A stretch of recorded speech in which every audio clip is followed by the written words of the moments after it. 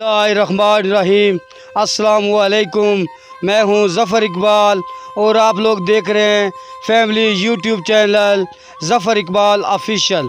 आज की मेरी वीडियो कोरली आज़ाद कश्मीर के मशहूर किले थ्रोची के हवाले से है।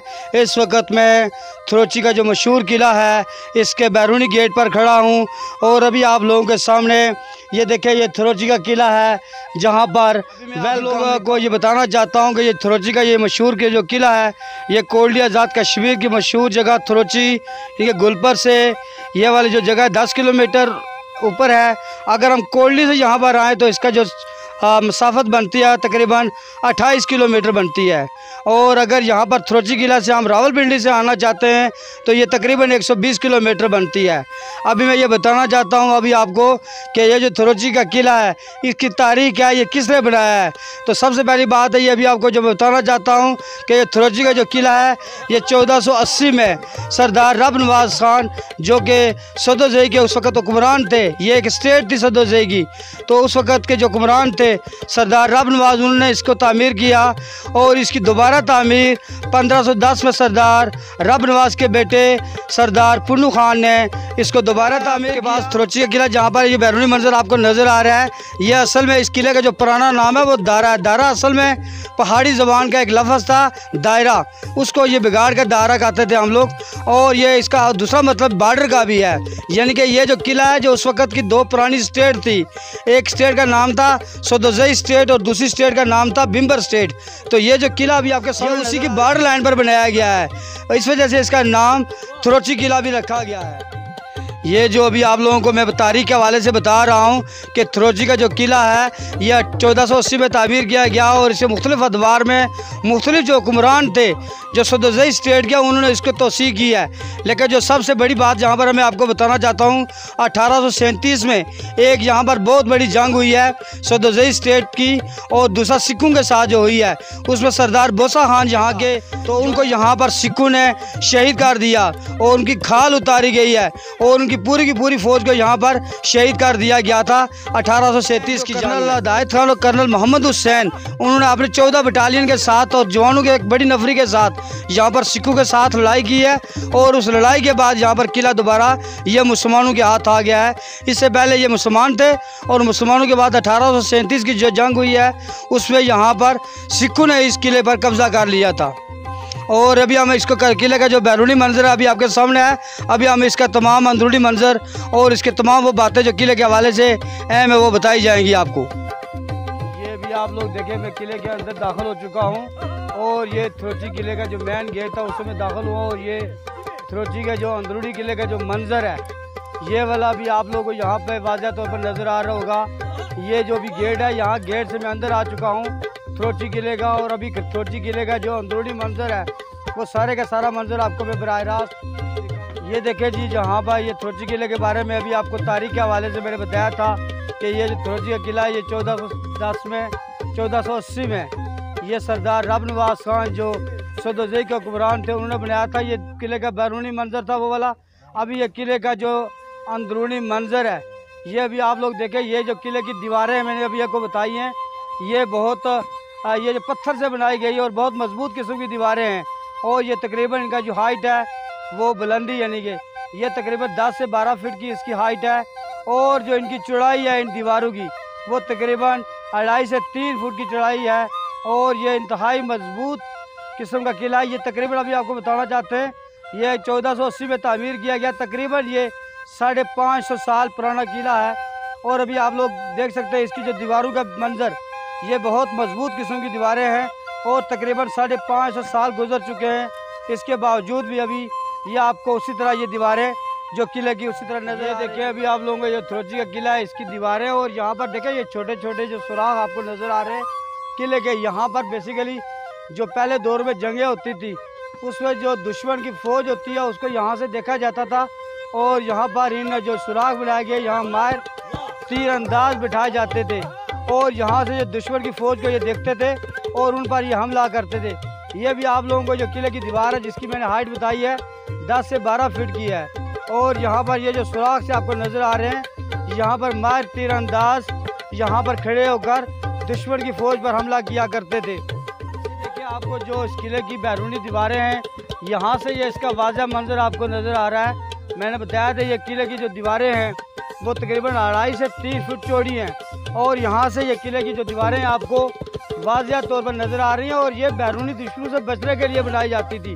और यहाँ पर देखें, ये किले की जो दीवारें आपको वाजह तौर पर नज़र आ रही हैं। और ये देखें, यहाँ पर आपका एक छोटा सा कमरा आपको नज़र आ रहा है। बुनियादी तौर पर ये वाला जो कमरा है, ये डिफेंस पॉइंट ऑफ़ व्यू से यहाँ पर छुपते थे। यहाँ पर जो फौज के आदमी होते थे, यहाँ पर उनको छुप के रहते थे। और ये देखें छोटे छोटे अभी आप लोगों को यहाँ पर जो यहाँ सुराह है इसके, ये देखें, ये भी आपको वाजह तौर पर नज़र आ रहे हैं। इनके जहाँ से माए जो तीर अंदाज होते थे, वो चारों अतराफ से यहाँ पर दुश्मन के ऊपर नज़र रखते थे, ताकि दुश्मन की फौज इन पर हमला ना कर सके। और ये वाला सारे का सारा बैरूनी मंजर जो किले का आपको यहाँ से वाजह तौर पर ये नज़र आ रहा है। ये वाला देखिए अभी आपके सामने एक और जो कमरा है, यहाँ पर जो दुश्मन की फौज से छुपने के लिए बनाया गया था। यहाँ पर ये आपको ये इसका अंदरूनी मंजर नज़र आ रहा है। लेकिन चूँकि ये साढ़े पाँच सौ साल तकरीबन हो चुके हैं। इसके लिए में ये दीवारें भी आप लोग देखें, एक दीवार है। ये देखें, पत्थर से बनाई गई है और तकरीबन साढ़े पाँच सौ साल गुजर चुके हैं। इनको बने हुए और ये अभी तक भी मौजूद है। लेकिन चूँकि यहाँ पर हुकूमती जो मुख्तु हुक्मरान आते रहे हैं, उन्होंने इसके ऊपर केयर नहीं किया है। इस वजह ये टूट फूट का भी शिकार है। यहाँ भी आपके सामने ये वाला जो बैरूनी मंजर है, ये इस किले का है, जो कि थ्रोची का एक मशहूर किला है, जो कोयली से तकरीबन 28 किलोमीटर दूर वाक़ है। ये अभी आप लोग देखें, जो किले की यहाँ पर एक कमरा बनाया गया था, जो किले का अंदरूनी मंजर है। ये देखें, यहाँ पर जो एक कितना खूबसूरत डिज़ाइन का ये दरवाज़ा है, जो किले का जो बहुत सीधा है।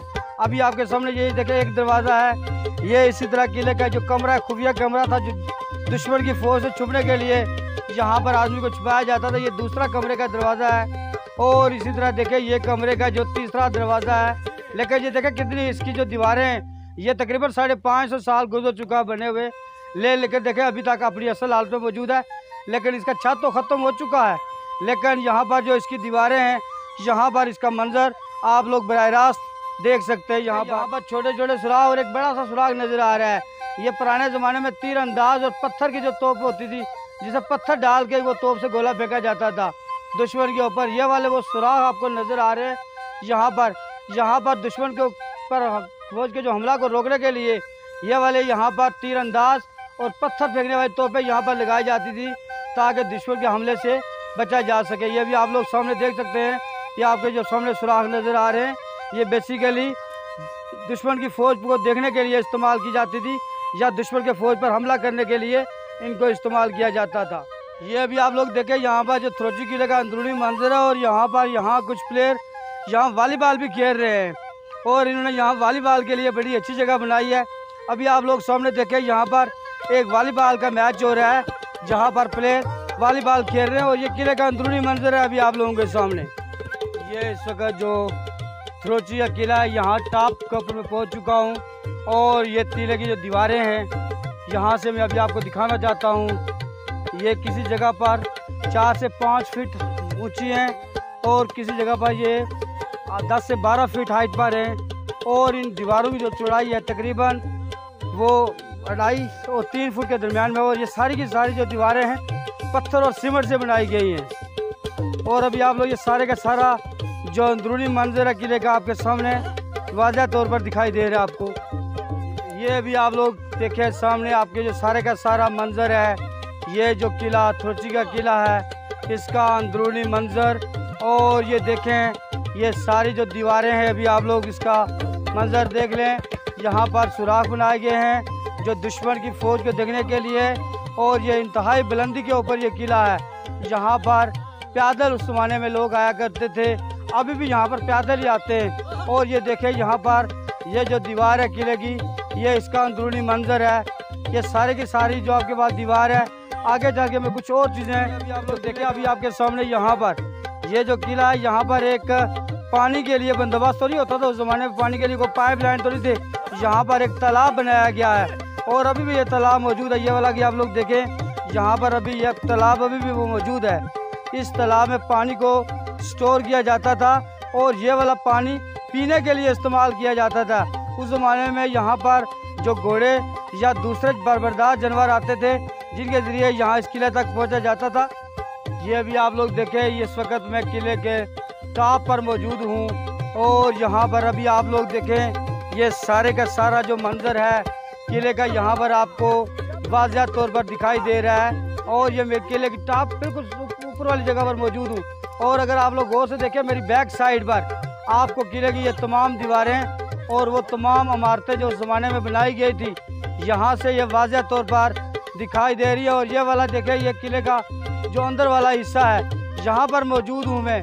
और ये सारे का सारा मंजर आप लोगों को यहाँ से बर रास्त नज़र आ रहा होगा। ये भी आपके सामने किले का टॉप वाला मंजर, जो भी आप लोग इसको देख सकते हैं। ये भी आप लोग देखें यहाँ पर जो किले की मुख्तलिफ़ दीवारें हैं और साथ में एक और पानी का तालाब एक मैंने पहले बताया, अभी आप लोगों के सामने जो किले के ऊपर। यहाँ पर एक और पानी का जो तालाब है, यहाँ देखें ये भी आपको वाजह तौर पर जो नज़र आ रहा है, ये जो ग्रीन कलर का जो मादा इसके ऊपर जमा हुआ है, ये चूँकि बारिशों का सीज़न है और बारिशों के बाद यहाँ जो पानी जमा हो चुका है तो ये वो मादा है जो पानी के ऊपर जमा हुआ हुआ है। लेकिन ये उस ज़माने में ये तालाब बनाया गया था, जहाँ से ये जानवरों के लिए या हो सकता है ये पीने के लिए पानी इस्तेमाल किया जाता था। और ये देखें सारी की सारी जो ऊपर किले की दीवारें हैं, यहाँ से आप लोग इसको वाजह तौर पर नज़र आ रही है। अभी आपको देखें, ये वाला इंतहाई खूबसूरत मंजर जो इस वक्त थ्रोची किले का आप लोगों के सामने है। देखिए आप लोगों के किले के मैं ऊपर जा चुका हूँ और ये देखें सर्कुलर वे में यहाँ पर एक हाफ़ सर्कल जो है पत्थरों का, ये वाला बनाया गया और यहाँ पर हो सकता है किसी दौर में यहाँ पर जो आर्मी के सिपाही थे, जो जो आ, उसको उनको खड़ा किया जाता था ताकि यहाँ के दुश्मन की फ़ौज को यहाँ से देखा जा सके। और अभी आप लोग देखें यहाँ पर जो पत्थर से बनाया हुआ हाफ़ सर्कल आधा सर्कल का जो एक आपके पास बनाया गया है। ये तकरीबन अढ़ाई से तीन फुट ऊँचा और यहाँ पर फौज को यहाँ पर रखा जाता था ताकि दुश्मन की फौज के ऊपर वो ये भी आप लोग देखिए यहाँ जो थ्रोची किले के टॉप के ऊपर हूँ और यहाँ से टॉप से थ्रोची के किले से। ये देखिए ये इस तरफ़ जो बैरूनी मंजर है ये आपको बहुत दूर तहद निगाह तक नज़र आ रहा है। ये बहुत ही ऊँची जगह है और यहाँ से खड़े होकर किसी ज़माने में जो दुश्मन की फ़ौज है, उसके ऊपर यहाँ पर नज़र रखी जाती थी। ये भी आप लोग देखें, ये लाइव मंजर है अभी आप लोगों के सामने, यहाँ पर थ्रोची के किले में। और यहाँ देखें, दूर दूर तक आपको जो एक आबादी नज़र आ रही है। और ये देखें, यहाँ पर किले के ऊपर वाली, ये जो मैंने आपको बताया, आप सर्कल यहाँ पर तो सिपाहियों को खड़ा किया जाता था ताकि वो दुश्मन की फौज को देख ठीक है यहाँ गुंबद नमा छोटा सी जगह बनाई गई है। ये भी एक मोर्चा था, यहाँ पर किले का, और यहाँ पर जो फौज के सिपाही है, वो यहाँ पर छुप जाते थे, ताकि दुश्मन की फौज से वो छुप सके, और अगर कोई दुश्मन की फौज आ भी जाए तो यहाँ से वहाँ पर दुश्मन की फौज पर हमला किया जाता था। और ये अभी आप लोग देखें, ये लाइव मंजर हैं, इस वक्त थ्रोची के किले के, और ये देखें गुंबद नुमा छोटी सी इमारत, जहाँ पर ये दुश्मन की फौज से छुपने के लिए ये जगह बनाई गई थी। सफ़ाई लिहाज से बहुत अहम जगह। ये वो जगह है जहाँ पर दुश्मन की फ़ौज को देखने के लिए या दुश्मन की फ़ौज पर हमला करने के लिए ये वो हाफ़ सर्कल, आधा सर्कल सा बनाया गया है और ये इंतहाई बुलंदी पर वाक़ है और इसकी दीवारें आप लोग देखें, ये पत्थर से बनाई गई है और पुराने ज़माने में जो कुछ सिमट वगैरह इस्तेमाल किया जाता था उससे और यहाँ देखें ये छोटे छोटे आपको यहाँ पर जो सुराख वाजह तौर पर नज़र आ रहे हैं, ये वो सुराह है जहाँ से दुश्मन की फ़ौज को देखा जाता था या दुश्मन की फ़ौज पर हमला किया जाता था। और ये एक इंतहाई मज़बूत जगह है और इंतहाई बुलंदी पर जगह है जो किसी ज़माने में दुश्मन की फ़ौज से लड़ने के लिए या दुश्मन की फ़ौज को देखने के लिए ये जगह इस्तेमाल की जाती थी। ये वाले आपके सामने देखे, ये थ्रोची किले का अंदरूनी मंजर अभी आप लोगों के सामने है। ये देखे, यहाँ पर एक आपको तहखाना नज़र आ रहा था दादा ये वो जगह है, जहाँ पर अगर कोई दुश्मन का सिपाही या कोई दुश्मन का आदमी मिलता था, उसको यहाँ पर गिरफ़्तार करके इस जगह पर बंद कर दिया जाता था। और ये एक इंतहाई खौफनाक जगह है। ये भी आप लोगों के सामने देखें, ये वाला एक अंदरूनी मंजर है। ये वाला देखें इंतहाई यहाँ पर ये खुफिया जगह है, और ये बिल्कुल ऊपर से है छत इसका अभी देखें, ये अभी भी मौजूद है, और ये पत्थर से जो बनाई गई दीवारें हैं, ये अभी तक उसी हालत में आपको नज़र आ रही हैं। ये एक तय खाना है, ये देखें अभी आप लोग यहाँ से जो अंदर जाने के लिए ये रास्ता है, ये दरवाज़ा है, और ये देखें ये इसका मंजर है, और दुश्मन की फ़ौज को यहाँ पर, उसके आदमी को यहाँ पर छुपाने के लिए अगर कोई दुश्मन का आदमी मिल जाता था यहाँ पर उसको गिरफ़्तार करके रखा जाता था। और ये वाला तहखाने का जो अंदरूनी मंजर है, वो भी आपके सामने है। और ये तहखाने का जो बैरूनी मंजर है उसका छत देखें, कैसा एक सर्कुलर बनाया गया है, जो आज से साढ़े पाँच सौ साल पहले बनाया गया था। और ये आज भी उसी हालत में आपको सामने नज़र आ रहा है। ये आपके सामने जो गुलबर के मकाम पर थ्रोची का किला है, उसका एक मंज़र है। जिसको आप लोग अभी देख सकते ये देखें अभी आप लोग जितने भी ये जो दीवारें बनाई जाती थी और ये देखें जो बड़े बड़े यहाँ पर दीवारों में जो होल रखे गए हैं और ये देखें ये सारी की सारी जो दीवार है, तकरीबन ये किला आज से साढ़े पाँच सौ साल पहले बना था। अभी अभी देखें, ये वाला किले का जो ऊपर वाला मंजर है और इसकी ये वो तमाम जो दीवारें हैं, ये देखें अभी कुछ टूट तो गई है, लेकिन ये सारा का सारा आपके सामने मंजर है। ये देखें छोटे छोटे कमरे बनाए जाते थे। यहाँ पर जो पुराने ज़माने में जंगें लड़ी जाती थी, यहाँ पर अपने फौजियों को रखा जाता था और यहाँ से वो दुश्मन की फ़ौज पर हमला करते थे या यहाँ पर उसके हमले को रोकने के लिए इस्तेमाल किए जाते थे। पुराने ज़माने में जो तीर इस्तेमाल किए जाते थे या पत्थर पत्थर की तोपें इस्तेमाल की जाती थी, ये देखें वो सुराख आपको यहाँ से बर रास्त नज़र ये वाला देखें आप लोग थ्रोची किले का जो अंदरूनी मंजर है, ये अभी आप लोगों के सामने है।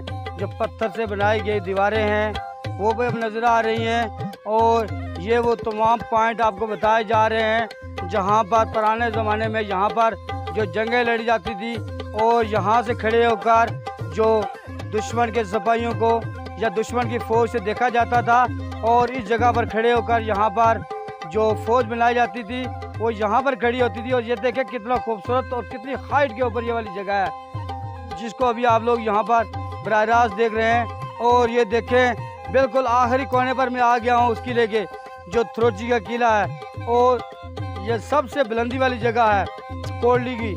और यहाँ से आप लोग मुख्तलिफ़ जगहों को बर रास्त देख सकते हैं। ये थ्रोची का किला है। और ये देखें, अभी आप लोगों के सामने ये हॉल बनाए गए हैं। और ये हॉल का मतलब मैंने पहले बता दिया है कि ये दुश्मन की फ़ौज से छुपने के लिए या दुश्मन की फ़ौज पर हमला करने के लिए इन्हें इस्तेमाल किया जाता था। और ये वाली जो जगह इस वक्त मैं बिल्कुल आखिरी कोने पर आ गया हूँ। और ये देखें, अभी आप लोगों के सामने ये पत्थर से बनाए गए जो सीलें हैं, ये अभी आप देखें नज़र आ रही हैं वाजह तौर पर। और ये बहुत ही हाइट वाली जगह है। ये देखें, अभी आप लोग उसका ये दरवाज़ा ये अभी आप लोग बिल्कुल आखिरी वाला पॉइंट है, थ्रोची के किले का। ये देखिए अभी आप लोगों को यहाँ से वाजह तौर पर नज़र आ रहा है। थ्रोची किले का सबसे अहम और जो अहम पॉइंट है, वो भी आप लोगों के सामने है। ये वाला जो आखिरी पॉइंट है, इसको भी आप लोग और से देखें। यहाँ पर ये जो छोटी छोटी आप लोग देखें, यहाँ सुराख भी मौजूद हैं। और ये देखें अभी आप लोगों के सामने ये वाले होल्स और वो वाले होल ये बिल्कुल टॉप पर हैं। और यहाँ से बैठकर दुश्मन की फ़ौज को देखा जाता था और दुश्मन की फ़ौज के साथ मुकाबला किया जा सकता था। और ये देखें, जो किले का जो सबसे टॉप मोस्ट और एम पॉइंट है, वो भी आप लोगों के सामने है। ये इसका अंदरूनी मंजर है। और ये वाला देखें, ये जो आपका इसका जो दरवाज़ा है, यहाँ से आप लोगों को ये वाजह तौर पर नज़र आ रहा है। तकरीबन आज से साढ़े पाँच सौ साल पहले ये किला तामीर किया गया था। लेकिन इसके बावजूद भी ये इतना मज़बूत बनाया गया है कि ये अभी तक इसकी जो दीवारें हैं, वो आपको वाजह तौर पर यहाँ से नज़र आ ये देखें जो इस वक्त आप लोगों के जो आपका थ्रोची का किला है, ये टॉप मोस्ट जगह पर मैं मौजूद हूँ और ये सारी की सारी जो किले की दीवारें हैं और ये देखें वो बहुत वाली हाइट वाली जगह, ये सारी की सारी आपको यहाँ से इसको आप लोग बर रास्त देख सकते हैं। ये ऊपर वाला सारा आपको इलाका जो थ्रोची किले का है, यहाँ से वाजह तौर पर आप लोग इसको देख सकते हैं। और ये वाला देखें, जो दफाई लिहाज से अहम जगह बनाई जाती थी पुराने ज़मानों में, ये देखें यहाँ पर। यहाँ पर फौजी खड़े होते थे और दुश्मन की फ़ौज को यहाँ से वो नज़र रखते थे या दुश्मन की फ़ौजों के साथ यहाँ से वो मुकाबला करते थे। ये सारे के सारे पॉइंट अभी आप लोगों के सामने नज़र आ रहे हैं। और ये थ्रोची किले का जो अंदरूनी मंजर है, यहाँ पर आप लोग इसको वाजह तौर पर देख सकते हैं। देखें अभी आप लोगों के सामने ये थ्रोची का किला है और यहाँ पर जो इसकी ये दीवारें हैं, जो इस वक्त शिकस्त तो रेख का शिकार तो है, लेकिन एक अरसा गुजर चुका है। साढ़े पाँच सौ साल का अरसा गुजर चुका है, लेकिन इसके बावजूद भी अभी अपनी असलात में है और ये वो तहखाना है। अगर दुश्मन का फौज का कोई सिपाही जहाँ पर गिरफ़्तार होता था, उसको गिरफ़्तार करके यहाँ पर इस तहखाने में रख दिया जाता था और ये उस तहखाने का आपको जो बैरूनी मंजर है, वो नज़र आ रहा है। अंदरूनी मंजर भी पहले पहले आपको दिखा चुका हूँ। ये उस तहखाने का ट्रोची किले का बैरूनी मंजर आपको यहाँ से वाज अंदाज से नज़र आ रहा है। ये अभी आप लोग देखें, यहाँ से जो हाइट वाली जगह है, यहाँ पर ये जो दीवार है, आपको देखें, यहाँ से कितनी वाजह नज़र आ रही है। और तकरीबन साढ़े पाँच सौ साल गुजर चुके हैं। इसके बावजूद भी ये अपनी असल हालत में नज़र आ रही हैं। और यहाँ पर अगर आप लोग देखें, इस जगह से जो दूसरी जगह है, वो सारी की सारी यहाँ पर ये देखें, यहाँ से जो अभी आप लोगों को थ्रोची किले का जो अंदरूनी मंजर है, ये सारे का सारा मंजर आप लोगों को यहाँ से देखें वाज अंदाज से नज़र आ रहा है। ये थ्रोची का जो किला है और इसका जो अंदरूनी मंजर है, अभी आप लोग देखें, यहाँ से ये टॉप वाली जगह है और यहाँ से ये पूरे का पूरा जो किला है यहाँ देखिए आप लोग पूरे आपको ये वाज तौर पर नज़र आ रहा है। यहाँ पर दुश्मन की फ़ौज से छुपने के लिए जो मोर्चे बनाए गए हैं या दुश्मन की फ़ौज का कोई आदमी अगर गिरफ़्तार होता था, उसको यहाँ पर रखने का जो तहखाना बनाया गया था। नाजरीन, ये जो मेरी वीडियो है, आज थ्रोची किले के हवाले से, वो सारी बातें मैंने अभी आपको बताई हैं।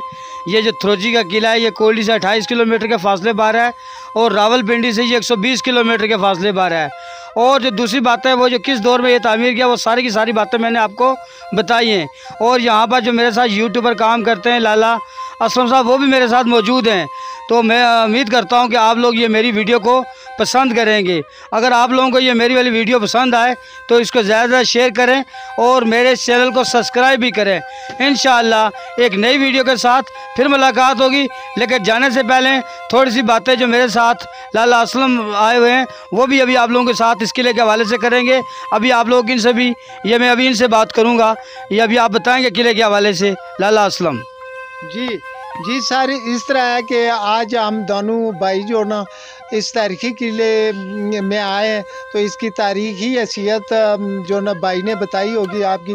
तो ये एक का, ये एक जो ना खूबसूरत किला भी है और इसकी एक कोई हैसियत भी है। वो इस वजह से कि यहाँ से कि हमारे जो सरदार सरदार भूसा खान है, उनकी यहाँ जो ना सिखों ने खाल उतारी थी, अठारह सौ छिहत्तर में जंग हुई तो उसके बाद वही सिखों को उन्नीस में कर्नल अदायत खान और कर्नल मोहम्मद हुसैन ने यहाँ पर मारका मार के उनसे ये आज़ाद कराई। तो इस किले की एक आ, एक जो ना कानूनी भी हैसियत है और बहुत तारीखी हैसियत है। उम्मीद करते हैं कि जो ना ये ए, मेरे भाई जो ना जफ़र इकबाल ऑफिशियल इनका जो ना चैनल को सब्सक्राइब और शेयर करेंगे। लाला असलम और जो ना जफ़र इकबाल को, और इस थ्रोची किले से इजाज़त दें, फिर नेक्स्ट किसी वीडियो में मिलेंगे।